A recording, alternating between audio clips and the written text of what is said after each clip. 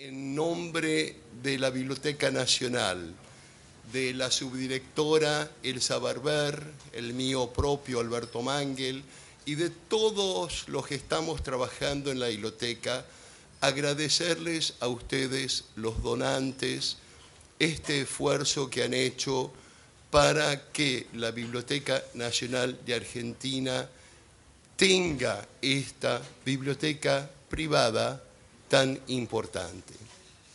Hay una diferencia fundamental entre la Biblioteca Nacional y las bibliotecas personales.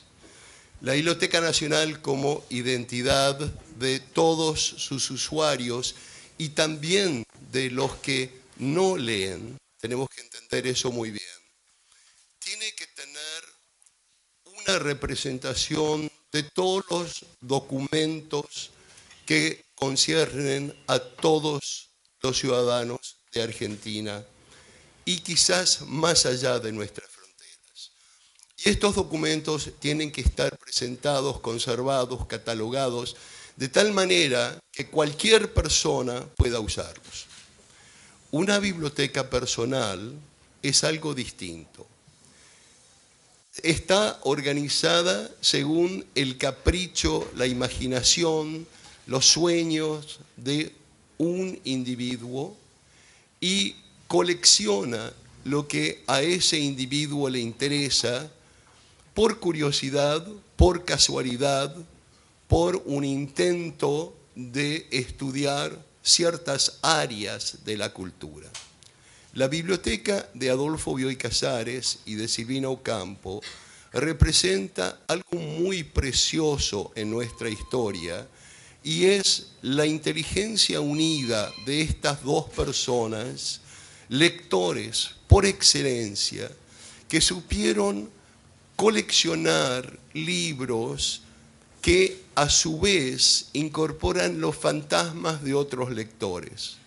Notablemente el más importante, Jorge Luis Borges, el amigo de ellos, con quien colaboraron, con quien escribieron libros, y esta biblioteca conserva sus proyectos, notas en los libros, en papeles sueltos, pero también hay otros fantasmas, los fantasmas de los antepasados de Bioy, tan vinculados con el campo argentino, nosotros tenemos que entender que si bien la literatura es fundamental en esta biblioteca, hay otras áreas de interés. Entonces está esa historia del campo argentino, sobre todo del padre de Bioy, y luego la infancia de las hermanas Ocampo. Tenemos en esta biblioteca los libros que leyeron estas hermanas geniales que estudiaron en francés, pero hay también libros en castellano, y son una documentación importantísima para investigadores en el futuro de ver cómo se formó esa generación que dio, por ejemplo, la revista Sur, dio también la obra de Borges, Bioy Casares y Silvina Ocampo. Entonces, agradecerles a ustedes que hayan entendido esto y que hayan hecho este regalo tan importantísimo, no a nosotros, pero para las generaciones del futuro. Nosotros todos aspiramos a un país mejor. Alguna vez lo lograremos, pero entre tanto tenemos que preservar, tenemos que conservar, tenemos que catalogar en la Biblioteca Nacional para esos lectores que aún no han nacido y con quienes tenemos un deber de herencia intelectual esencial. Les agradezco muchísimo el gesto que han hecho. Gracias. Es mi deber agradabilísimo agradecer Quiero agradecer en el nombre de la Biblioteca Nacional Mariano Moreno, en el nombre de la subdirectora Elsa Barber, en el mío propio Alberto Mangel, director de la biblioteca, y de todo el equipo de la biblioteca, el enorme esfuerzo de los donantes. Quiero agradecer al estudio Marval, O'Farrell y Mayral, a la escribanía Caturegli y a la escribana Victoria Copes Scarano por su trabajo pro bono y también al comité que colaboró con Verónica Biel Temperley, a Verónica por supuesto, en eh, la búsqueda de fondos. Hernán Caballero, María Noel, Juan José Guiraldes, Héctor Arseno y Leonor Ortiz. Los donantes tienen un nombre desde ahora en la biblioteca y tienen que ser reconocidos por su generosidad. Ricardo Torres y Sandra Sakai, el Banco Galicia en eh, la persona de Eduardo Escasani, Ana y Marina Gancia, el Banco Hipotecario, Eduardo y Mariana Elstein, la Fundación Bunge, y Born en eh, la persona de Alex Born, Marcela Sin, la Fundación Paramey Fractal en las personas de Silvia Rivelo e Ignacio Guirao, Alejandro Stengel y María Cecilia Bullrich y José María Malabrán. Agradecemos también la presencia de los directores de importantes bibliotecas, como también, por supuesto, las autoridades y representantes de la comunidad bibliotecológica nacional. Muy especialmente al estudio Marval, O'Farrell y Mayral, a la escribanía Caturegli y a la escribana Victoria Copes Carano, como he dicho, pero vale la pena decirlo dos veces porque el trabajo ha sido inmenso. Y con esto le dejo la palabra al ministro de Cultura, Pablo Abeluto, que a quien agradezco para el último agradecimiento el apoyo que nos ha dado en aquí la Biblioteca Nacional. Buen día. Em, me sumo, por supuesto, a todos los agradecimientos que hizo Alberto con todo detalle. Em, realmente muchísimas, pero muchísimas gracias porque esta biblioteca enorme, con sus 17.000 volúmenes, de no haber mediado esta intervención que muchos de los que aquí presentes han tenido, probablemente se hubiera perdido para el patrimonio cultural argentino. Eh, de manera tal que doblemente gracias desde ya.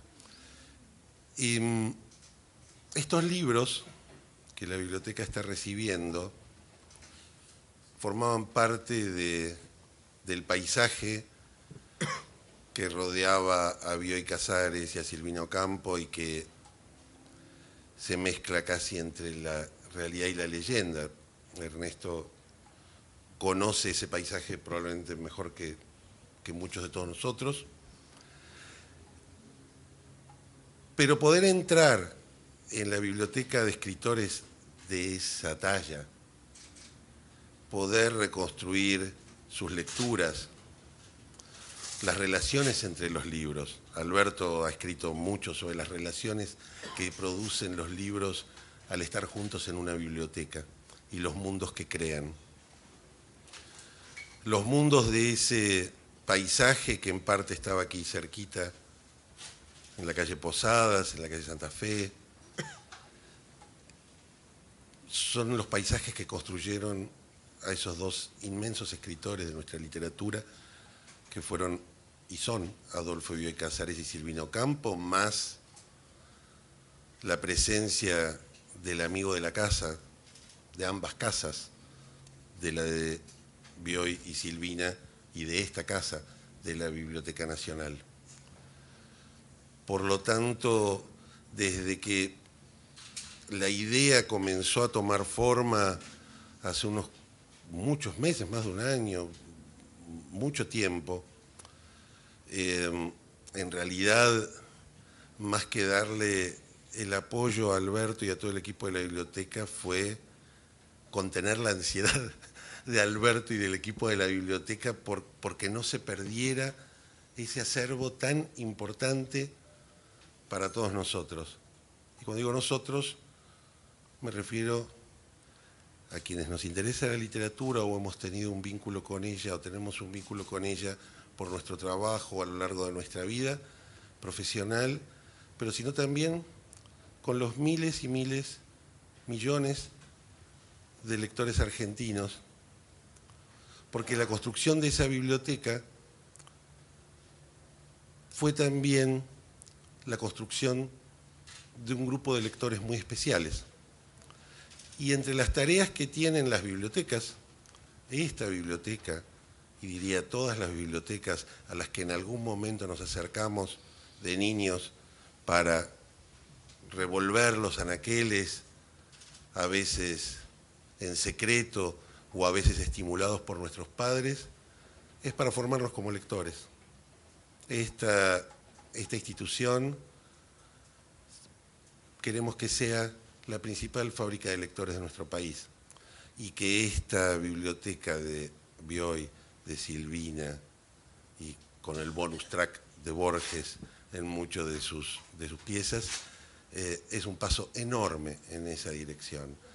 Em, como todos ustedes, estoy tan curioso por, por lo que Germán, Laura y Ernesto nos puedan contar del detalle de lo que hay ahí. Es como un tesoro para quienes amamos los libros. Eh, pertenezco a esa clase de personas que cuando llegan a una casa empiezan a revisar los anaqueles porque le va a dar información de quién es el dueño de casa, de qué ha leído, de qué está leyendo, de cómo se formó, de dónde vienen sus gustos, su familia. Así que imagínense hacer eso con 17.000 volúmenes para poder de algún modo volver a la vida a esos genios, Silvino Campo y Adolfo Bioy Casares. Así que gracias de nuevo. Eh, esta biblioteca y este ministerio se los agradece de todo corazón. Gracias. Voy a pasar la palabra a, Laura Rosato, Germán Álvarez y Ernesto Montequín, que conocen la biblioteca a fondo. Yo tuve el privilegio en los otros días de ir a ver finalmente las cajas y eh, abrimos algunas, vimos los libros y eh, si me perdonan un detalle personal, para mí fue muy emocionante ver esos libros que yo había visto eh, en la casa de eh, Bioy y Silvina Ocampo cuando mm, me llevaba allí Borges para cenar, cenas que eran bastante malas, pero no importaba porque estaban los libros, recorrían las bibliotecas, sacaban los libros, hablábamos de libros, y ver los libros a punto de resucitar en esas cajas fue para mí un momento muy emocionante. Pero Laura, Germán y Enrique les van a contar en detalle los tesoros. Ernesto, perdón, Ernesto, discúlpenme. ¿Empieza? Eh, empieza quien quiera. Bueno, yo eh, empezaría por agradecer para nosotros después de cinco años eh, de trabajo conjunto con Laura y Ernesto por adquirir esta biblioteca es la felicidad del sueño cumplido. Así que a los donantes y a todos aquellos que trabajaron en esta gran empresa, eh, muchísimas gracias. Luego uno siente como trabajador de la Biblioteca Nacional la tarea realizada, la satisfacción de la tarea realizada. Así que gracias a todos nuestros compañeros que nos apoyaron siempre, a nuestros directivos. Eh, de aquí en más, bueno, eh, queda mucho por hacer, como dice el director, las generaciones futuras disfrutarán de esta biblioteca, tal vez, corregime Ernesto, la última gran biblioteca de autor que quedaba en el país. De autores. de autores, es verdad, porque bueno, es una, como ustedes saben, es una biblioteca río, confluyen muchas bibliotecas. Eh, cuatro bibliotecas importantes, la de los padres de, de Bioy, eh, la de Bioy Casares, Adolfo Bioy Casares, eh, Silvino Campos, su esposa, y hay un tercero allí en Discordia que es nuestra expertise con Laura, que es, bueno, Georgie, ¿no? Jorge Luis, Jorge Luis Borges, nada más y nada menos. Así que, bueno, pasaría la, la palabra a Ernesto, que realmente es el conocedor de esta biblioteca y que la ha cuidado como un férreo cancerbero durante todo este tiempo.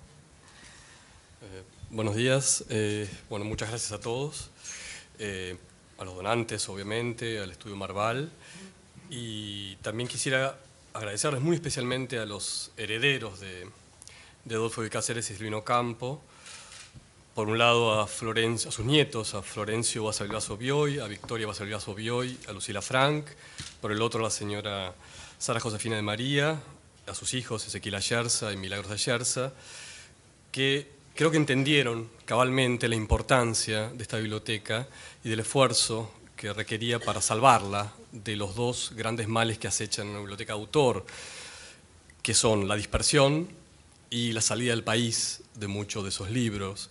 Ellos entendieron muy bien eso y durante largos años esperaron pacientemente eh, que llegara el momento, que la biblioteca encontrara su destino y que fue finalmente lo que ocurrió. Hoy podemos decir que la biblioteca está en las mejores manos, que encontró un destino perfecto, de algún modo, porque también esa biblioteca, como ya se mencionó antes, era la biblioteca de Bioy, era la biblioteca de Silvina, y antes de que Borges fuera director de la Biblioteca Nacional, era un poco la biblioteca de Borges.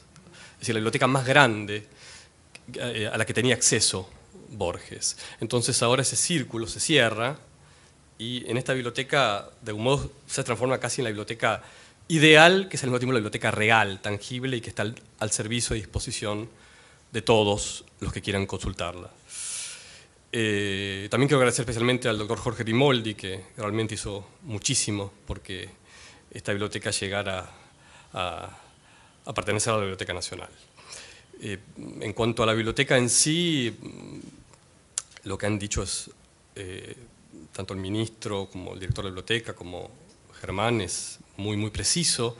Es una biblioteca única, irrepetible, donde es, casi una superposición de bibliotecas, son como capas, ¿no? Por un lado, podemos decir que la, hay un fondo, digamos, que representaría la mentalidad de la generación del 80, es decir, la Argentina liberal, eh, laica, eh, progresista, con mucha admiración por las luces, es decir, por Francia, por Inglaterra, que representaría los padres de Bioy. Luego se sumó la biblioteca de Silvina, la biblioteca que se conservan libros desde su infancia, la biblioteca de Bioy y la biblioteca de Borges. Eso es algo único e irrepetible. Y el valor de una biblioteca como esta, de autor, que es un gran laboratorio de trabajo, un universo privado, donde ellos trabajaban, leían, su, sus vidas eran inseparables, digamos, de, sus lecturas, y los libros testimonian, los libros tienen vida, es decir, están, son libros no solo leídos, sino vividos, se notan las, las marcas, en, en las huellas físicas que tienen los libros. En estas bibliotecas, el valor es la investigación, es decir, lo que se puede aprender de sus dueños, y en este caso tres de los mayores escritores argentinos y de la lengua española. Entonces, eh, lo que va a empezar de ahora en adelante va a ser una etapa, digamos, importantísima y que va a estar llena de sorpresas deslumbrantes, porque vamos a poder reconstruir no solo lo que leían, sino cómo lo leían, es decir, qué les interesaba de cada autor. Son libros que están cargados de notas, de proyectos, aún de chistes. Hay libros que tienen, se ponían a jugar. Me acuerdo del ejemplar del Finnegan's Wake de Joyce. Imagínense la, la, naturalidad con la que ellos tomaban un libro que hoy en día es un libro que se considera, digamos, casi eh, sagrado, digamos, la literatura del siglo XX, y se ponían en la última página a hacer chistes, a hacer juegos de palabras. Y hay toda una página donde la letra de Borges, en momento se pasan a la, la lapicera y escribe uno, escribe otro son juegos de palabras, que creo que al propio Joyce, que le gustaba mucho los juegos de palabras, le hubiera encantado que, un ejemplar de su libro tuviera ese valor agregado. Y las, uh, las maravillas que deparan ese libro son realmente eh, infinitas y creo que, por suerte, ninguno de nosotros, ni, Germán ni Laura, yo que hemos trabajado con esa biblioteca, la hemos visto, eh, llegamos a agotar. Es decir, yo mismo estoy ansioso por, por saber, por conocer a uno de esos de esas maravillas que aún, que aún encierran esos libros. Yo quería, bueno, no voy a repetir en los agradecimientos, mi compañero ya fue eh, extenso en eso. Sí quería decir que eh, me gustaría que esta experiencia fuera también eh, una semilla, una semilla que germinara, porque creo que Germán y yo trabajamos con esta biblioteca o con el proyecto de adquirir para la Biblioteca Nacional esta colección desde el año 2012 y por diferentes razones eh, no se pudo lograr y finalmente se logró en esta colaboración mutua entre el sector privado y los particulares y el Estado en una, esta donación generosa que hoy comentábamos con Germán, creo que yo creo que no se daba desde principios del siglo XX con la colección Leguina, quizás que no había una colección eh, tan rica y tan valiosa y que provenía de la generosidad de los donantes. O sea, las grandes donaciones se habían terminado a principios del siglo XX, quizás esto eh, pueda ser el puntapié inicial para nuevos eh, proyectos de esa naturaleza. Me parece que en ese trabajo mucho tuvo que ver también el trabajo de Verónica Biel-Temperley, que realmente eh, cuando nosotros le propusimos al director la adquisición de esta colección y le dijimos, bueno, tenemos cuatro meses para juntar esto, todos dijimos, va a ser imposible, esto no se va a poder hacer. Y bueno, Verónica reunió un conjunto, un grupo de gente que se comprometió con esto y que trabajó en pos de este proyecto. Para nosotros como investigadores, mi compañero y yo hace más de 10 años que trabajamos en la investigación de la biblioteca eh, personal de Borges específicamente. Para nosotros es muy importante porque esto está asociado a un proyecto mayor, que es el proyecto del Centro Borges. Esta biblioteca se propone como casi eh, el núcleo fundacional, digamos, patrimonial de esa colección. Y sabemos que lo que tenemos por delante es un trabajo que va, eh, va a envolver a toda la biblioteca. Estamos dejando ya el trabajo que hicimos y pasa a ser un trabajo de toda la biblioteca. Eh,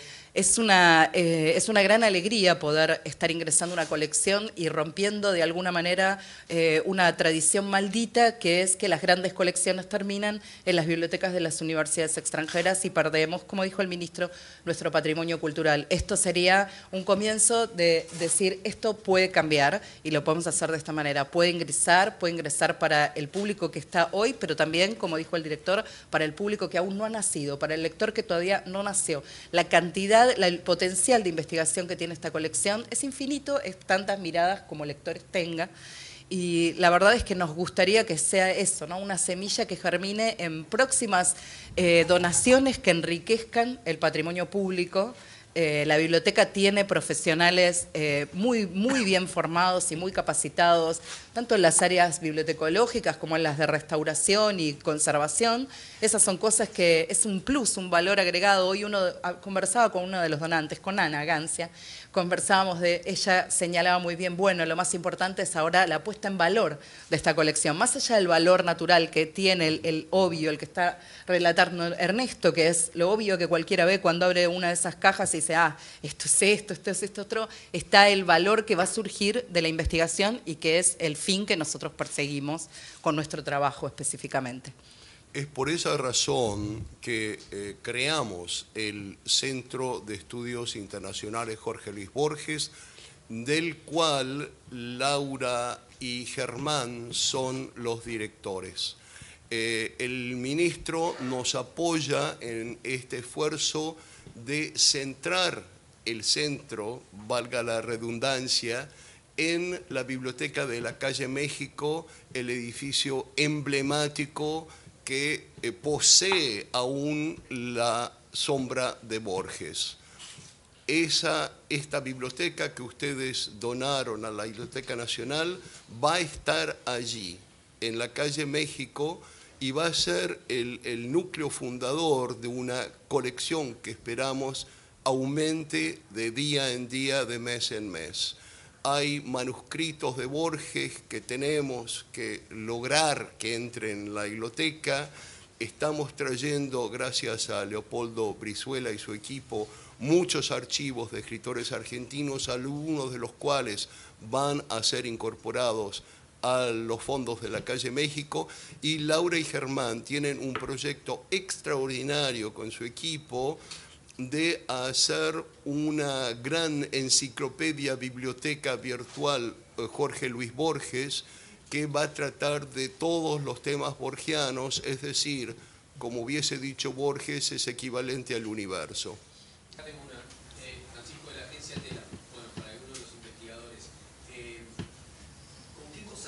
Ya venían a ustedes investigando esto, ¿qué cosas se sorprendieron al ver estos eh, de los escrituras sobre los, sobre los libros, los propios de Borges, de, Casares? ¿Qué cosas lo sorprenden? Bueno, Ernesto acaba de mencionar algo, ¿no? Eh, esas escrituras sobre ese libro canónico de Joyce es, es algo muy sorprendente, si bien ya teníamos conocimiento de, de esos, eh, de esas, eh, digamos, notas humorísticas, eh, cuando uno lo llega a ver, bueno, siempre, siempre sorprende de la misma manera. Luego hay toda una etapa, eh, hablando, digamos, eh, netamente sobre, sobre Borges, hay toda una etapa que no tenemos en la Biblioteca Nacional. La Biblioteca Nacional tiene casi 800 volúmenes de la biblioteca personal de, de Borges. Y en el, digamos, la porción que existe todavía, que, está ahí dentro de la biblioteca de Bioy, es como complementaria. Hay toda una parte de juventud y toda una parte de madurez, de, de ediciones mutuas, digamos, de ese laboratorio que hablaba Ernesto, en donde colaboran y comparten lecturas y editan. Digamos, eso es muy sorprendente y va a haber una, digamos, se va a abrir una puerta de investigación muy grande alrededor de esos libros, esos libros que ellos eh, utilizaron para, para editar parte de sus antologías en común. Te- tenemos que eh, explicar que lo que se conoce hasta ahora eh, son eh, los volúmenes que el librero Alberto Casares eligió como valiosos en las, casas, en las cajas numeradas 26. Eh, quizás Laura pueda explicar un poco, o Ernesto pueda explicar un poco, cómo se hizo esa división y qué falta por descubrir. 80% de las cajas no sabemos lo que hay, si hay otras cosas misteriosas y valiosas. La biblioteca, digamos, hubo varias peripecias, obviamente, una biblioteca de 7.000 volúmenes, eh, eh, que era un bien dentro de una sucesión, es decir, la sucesión de Bioy y Silvina, entonces tenía un tratamiento como un bien eh, que, tiene, hay que darle un valor, hay que darle una clasificación, una, incluso una, distribución entre herederos. Entonces, en un momento, luego la muerte de Bioy, cuando se vendió el departamento mítico de la calle Posadas, donde estaban est- estos libros, obviamente, forrando las paredes, eh, eh, esa biblioteca, el, librero Alberto Casares hizo una división en 10 lotes equivalentes, supuestamente, porque en ese momento había un- una, tentativa o en todo caso un recurso que por suerte no, no llegó a, a buen puerto, que era de dividir esos lotes entre X cantidad de herederos. ¿no? Entonces, eh, esa- esa- esas 7.000 volúmenes se dividieron en 10 eh, lotes de alrededor de 34, 35 cajas cada uno, son 354 cajas exactamente. Y él mm, separó en una caja la- las cosas más evidentes que a su criterio tenían, tenían valor, eh, que es la caja número 26, lo cual no quiere decir que el resto de las cajas no lo tengan, son distintos niveles y, sobre todo son libros eh, que en muchos casos hay que reconstruir el contexto para saber su valor. Eh, eh, esto, en la caja 26 son los libros más rápidamente identificables, que cualquier ojo entrenado, o no tanto, identifica como valiosos, porque eran todos los libros, por ejemplo, de Borges dedicados a Silvina y a Bioy, los libros con anotaciones, algunas primeras ediciones, es decir, libros que tienen un valor eh, muy evidente. Pero, como bien decía Laura, eh, a medida que se vayan eh, trabajando con esas 300 y pico de cajas, van a ir aprendiendo libros mucho más valiosos, porque de hecho nosotros cuando abrimos cajas al azar, para hacer un, un muestreo, digamos, de, de la biblioteca, encontramos en cada caja que abríamos libros que perfectamente cumplían los requisitos para ser ubicados en la caja 26. Entonces, hasta que se termine todo este trabajo minucioso de ver ejemplar por ejemplar, no se va a saber exactamente eh, eh, qué maravillas depara, porque eh, realmente hay momentos en que hay una anotación al margen que hay que ponerla en contexto, relacionarla con un libro, con una obra, con una cita que alguno de ellos usó en alguno de sus libros, sobre todo con muchos proyectos, como ellos estaban todo el tiempo armando proyectos juntos, comían a la noche y después en la sobremesa preparaban antologías. Entonces yo iba, agarraba un libro de su biblioteca de autores ingleses, se sentaban mientras comían el postre, le daban una cucharada de dulce leche a Bo- a Borges, anotaban ideas para cuentos, para antologías, temáticas, y todo eso quedaba registrado en los libros. Muchos no se hicieron. O sea que se pueden reconstruir los, los libros que armaron o que pensaron juntos y que no se llegaron a publicar.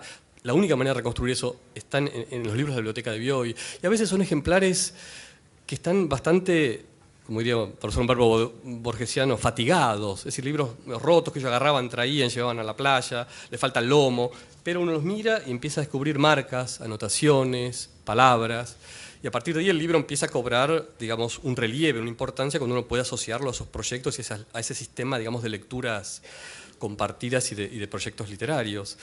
Eh, hay mm, otro rasgo muy notable son los libros de los propios autores, corregidos para segundas ediciones o para posibles ediciones. Por ejemplo, recuerdo un ejemplar del primer libro de Silvina, Viejo Olvidado, que es un libro con el que ella siempre tuvo una relación ambigua, nunca lo quiso reeditar en vida, es un libro muy espontáneo, muy lírico, y hay un ejemplar totalmente destrozado, en el sentido que no tiene las tapas, no tiene el lomo, y está repleto de anotaciones y de agregados de puño y letra de Silvina. Es decir, es como si hubiera reescrito el libro La Silvina Madura, el, el libro que había escrito y publicado La Silvina Joven, el primer libro en su carrera. Entonces, para aprender, ahí tenemos como una, una reescritura de la propia Silvina, de un libro publicado, que, de lo cual se puede realmente sacar casi un libro nuevo.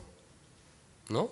Eh, hay, por ejemplo, las pruebas de imprenta del Jardín de Senderos que se bifurcan de Borges, con el agregado de una nota del prólogo escrito en una hoja de la biblioteca Miguel Cané donde él trabajaba, con las correcciones manuscritas, para llevar eso a la imprenta y que se, se publicara el libro, con las últimas correcciones. Es decir, realmente es, mm, inagotable la cantidad de, de rarezas y de mm, maravillas que hay en esa biblioteca. Yo querría agregar, Ernesto, si me permitís, que cuando nosotros hacíamos la campaña para los donantes tratábamos de explicarle esto del el valor que tienen los libros. Vos estás enumerando una serie de joyas. Hay cosas que quizás a primera vista, cuando nosotros abrimos las cajas, no, no se perfilan como joyas en sí. Sin embargo, con este valor, el valor de la investigación, adquieren una relevancia. Recuerdo, por ejemplo, las guías Michelin que están de los viajes de, de Bioy, los viajes de juventud, o los libros, como mencionaba el director, los libros infantiles de las hermanas Ocampo. Cosas que a primera vista no tienen marcas de lectura, no tienen manuscritos y sin embargo uno ya imagina qué perfil se puede lograr desde ahí, cuántos trabajos pueden derivar de, de ese tipo de materiales. Y otra cosa, el trabajo de traducción, eh, el trabajo de traducción o los trabajos sobre la colección El Séptimo Círculo, eh, cosas que estaban en las cajas, no en las cajas 26, y uno se pregunta, bueno, ¿por qué no estaban ahí? Y sin embargo estaban en, en otras cajas, en lo considerado no tan valioso, en el valor que tiene el valor que tiene la colección ya ingresada a la Biblioteca Nacional, la colección adquiere un valor per se independiente de cada uno de, sus, de esos ítems que estamos mencionando. ¿no? Sí, además hay que tener en cuenta que toda, toda biblioteca es una autobiografía de su dueño.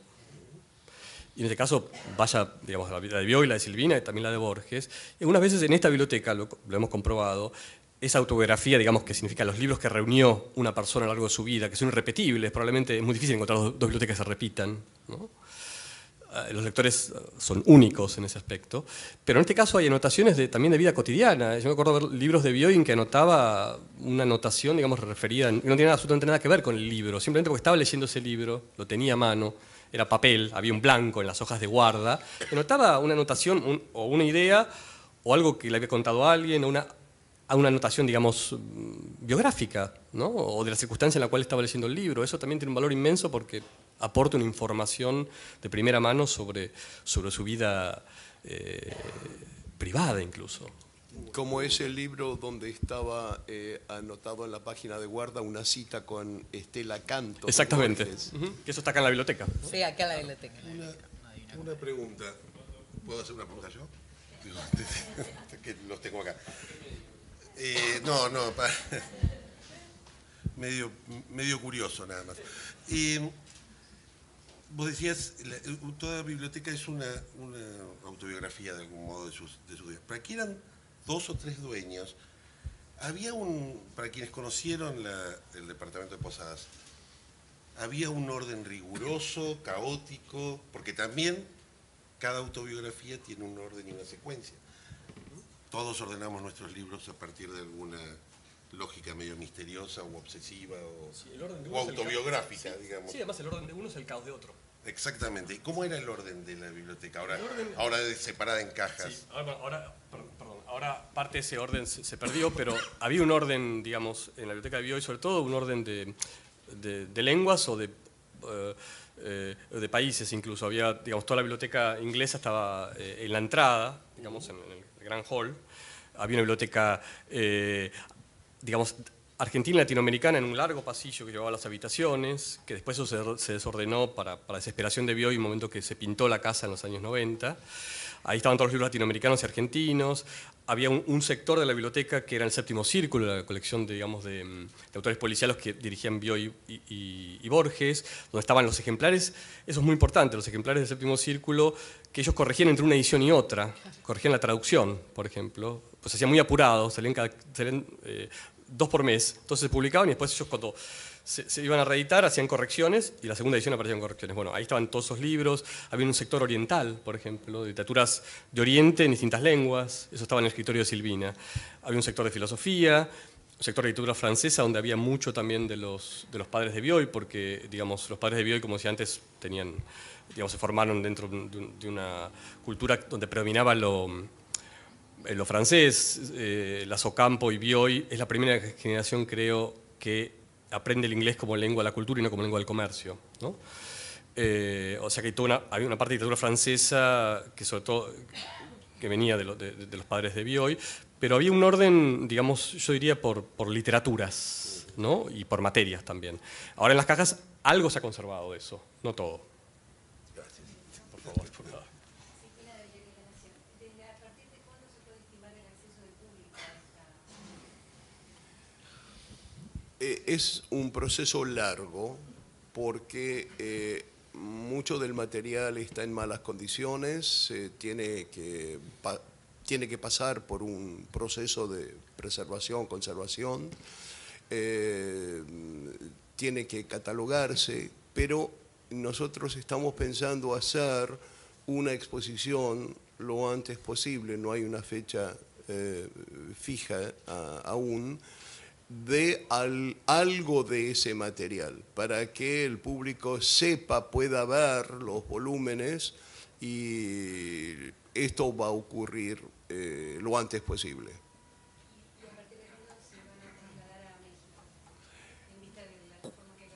Hay, hay un, hay un eh, proceso, este, ¿se acuerda del cuento Casa Tomada de Cortázar? Bueno, e- es, esa es nuestra inspiración.